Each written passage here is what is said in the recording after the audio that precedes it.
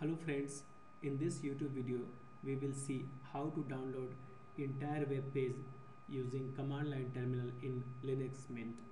So for example I have a web page to download here. You can see the URL it's learnpythonthehardway.org. Now just copy this URL and open the command line terminal.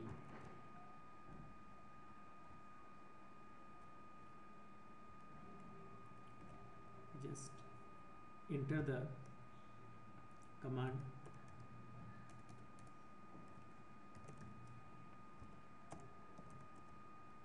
And now here paste the URL and hit enter. Now you can see it has started downloading all web pages. It will download entire HTML pages including image folder and other files also.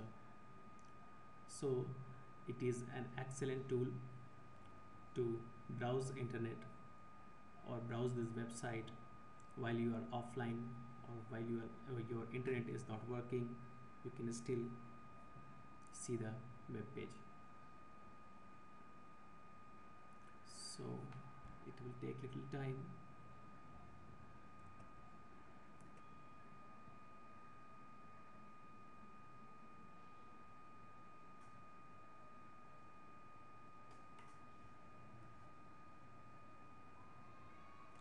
so it is still downloading.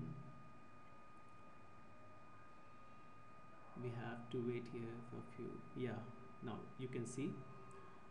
All all 81 total 81 files are downloaded. Now just close this terminal. Now we have to close the web page also. Now open the home folder. Now you can see here the entire web page is downloaded with with uh, name of the net. You can see all the folders and files. It is having index.html file is there. I will go to book. Now all the exercises which were available online is now downloaded here so that I can browse while my internet is not working. Let me open one of this file. Yeah you can see. I can open this. So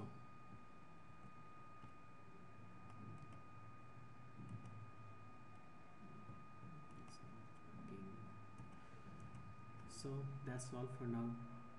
Thank you